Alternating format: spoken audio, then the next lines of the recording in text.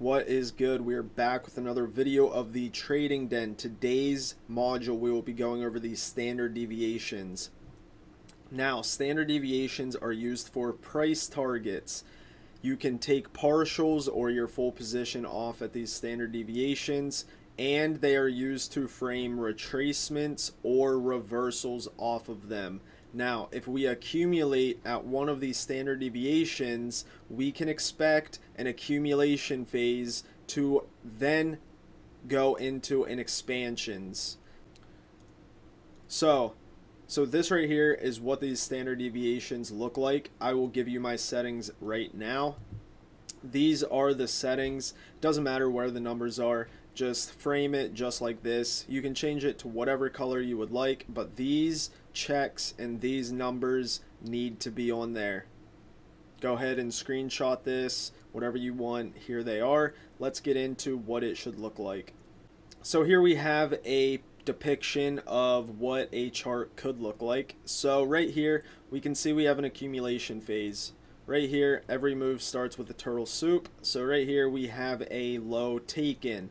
Now, what you want to be looking for is the manipulation leg. So we have a high here into a new low. So this leg right here would be your manipulation. Now, we take that uh, standard deviation fib tool and measure the manipulation. Right here is your manipulation phase. You measure from the high to the low, and then the standard deviations will project out. Now, let me line this up there. So, negative 2, 2.5, the red area. We will go into that in a minute. Now, negative 0.05, or sorry, negative 0.5 to negative 1 is where you can frame an accumulation phase from. So as you see right here, whenever we get there, we have a run on stops and then a continuation to negative 2, negative 2.5. So this right here can be used to identify accumulation phases on intraday charts. So moving on to negative 2, negative 2.5. This is where you can frame a reversal or retracement from. This is where price likes to reverse and retrace off of because usually it aligns with sell side or buy side liquidity. So right here, you see that we run buy stops and then expand lower. Now, if it is an expansion lower and it is a revert or a retracement, sorry, into a higher time frame PD array, if we respect negative 2, negative 2.5, the easiest draw is measure the entire range from that low that we measured the standard deviation from to the high that this low made and then we measure out equilibrium of the range. This is your target if you want to take shorts up here. And then you target this 0.5 because we do not have to reverse the entire move. This can be a retracement into a continuation expansion. So you target the 0.5 and this is where you can frame longs off of. So whenever we get back down here, this can now be a new manipulation leg if it had a run on stops. As you see here, we have a run on stops. This can now be measured as well. But 0.5, if we respect negative 2.5 and negative 2, the equilibrium is your price target and a place to frame a long for a continuation off of. Now moving up, negative 4 is where price likes to stop at and either accumulate or have a full-on reversal. Negative 4 a turtle soup will usually occur if we are going to have a reversal. So this is where you do you do not want to be trying to frame a continuation continuation, sorry, a continuation trade off of negative 4. This is where reversals are most likely to happen. So let's hop into the charts and give some examples. So right here we are on the NASDAQ hourly chart. And as you see right here, we have an accumulation phase. And right here we have that run on stops. And then we have this expansion higher. Now, whenever it expands higher, we can now frame this as our manipulation. So what do we do? Draw out the fib tool, take it from the low to the high. Click on standard deviations. Now, what did I say here? This negative 1 to negative 0.5 can be an accumulation phase as you see right here we have a little accumulation, a little more accumulation, and then an expansion to negative 2, negative 2.5. And as you see, we continue to respect it, expansion lower. So now what do we measure out? We measure out equilibrium of this entire range. So right here, as you see, we continue. Check out the bodies. I didn't even realize that. Check out the bodies. All bodies respect that. So then we continue up. Do not run these highs and expand lower. This is where you could kind of expect to see this low, but as you see, we do not deliver that low. Like I said before, we do not have to deliver that low. Equilibrium is your price target and a way to frame longs off of. So let's hop into another example. So here we are on the NASDAQ daily chart, right? Price is fractal. It works on all time frames. But right here you see we have a high. We have a run on all of these equal lows throughout here. And then we have an expansion higher measure from the low to the high, negative 0.5 to negative 1. We have a little accumulation here, right? We have this down candle, we have this small candle, expansion up. What can we expect? Negative 2 to negative 2.5. We come here, we accumulate, looks like we're expanding lower, could see equilibrium, but we have a new low. So this can be the equilibrium that we measure out.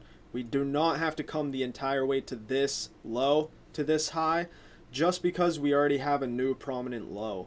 So this would be the equilibrium that we would be looking for. Expansion higher. What can we see now? We could come the entire way, that, right, this is real time. We could come the entire way up to negative 4 now. So 18,385 could be the target for this daily expansion because we have now closed above this range right here after getting this retracement from negative 2 to negative 2.5 and then expansion higher. So we can expect to see negative 4. Now, you were watching this course before this could even happen. So we are on the daily chart. It's going to take a while to happen.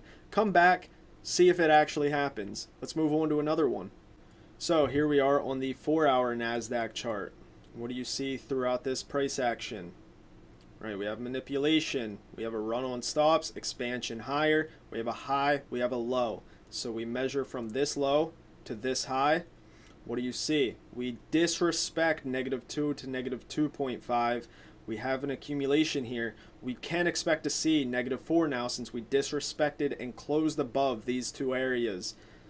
So, here's negative 4. Let me line that up. Where do we stop? Right there. And right now, we are accumulating to maybe get another expansion. But you do not want to be trying to take a swing position, right? Because this is the 4 hour. You're not taking intraday trades off the 4 hour. You don't want to be taking a swing trade to have continuation yet until we show that we want to expand. So we hit that negative 4. Now we're starting to accumulate once again. So here we are on the NASDAQ 15 minute. Right here in this piece of price action, you can see we have a run on buy stops and then an expansion lower. So we have a run on buy stops, expansion lower.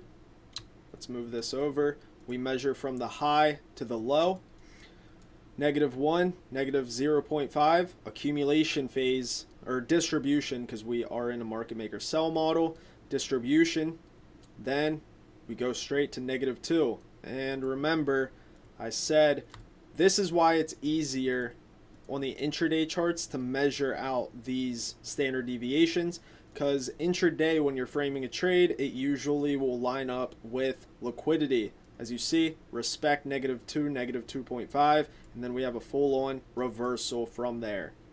So here we are on the NASDAQ 15 minute. Once again, I'm going to show you some more examples on the intraday charts just because day traders, we like to catch the daily move. So right here, you can see we have a run on these buy stops right here inside of a higher time frame PD array. You can tell because this is just displacement lower, so this is probably an hourly imbalance.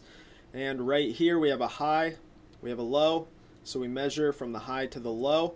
0.5, negative 0.5, and negative 1 distribution phase, expansion down to negative 2, negative 2.5, and then a full-on reversal.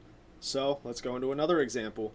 So here we are on the NASDAQ 5-minute chart. You can see this piece of price action sweeps all of these equal lows.